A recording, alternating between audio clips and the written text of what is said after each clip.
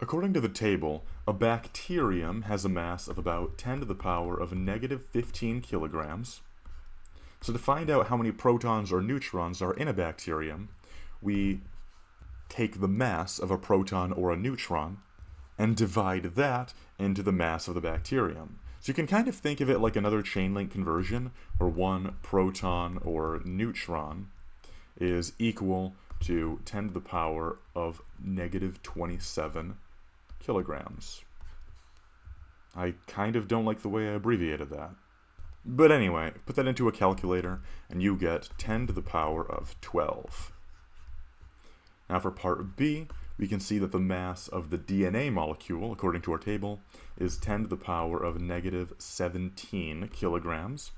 Now again, we divide that by the mass of the proton or a neutron, which is 10 to the power of negative 27. Put that into a calculator, and we get 10 to the power of 10 protons or neutrons.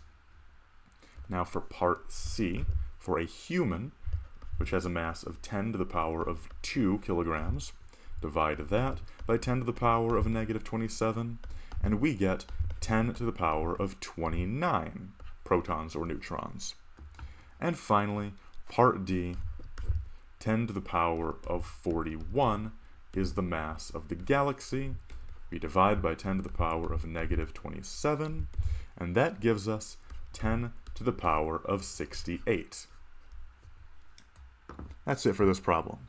I hope this video helped you out. If it did, please consider subscribing or donating to my Patreon, as that'll help me out in making more videos just like this. If you have a request or a question, leave a comment down below, and I hope you all have a lovely day. Bye-bye.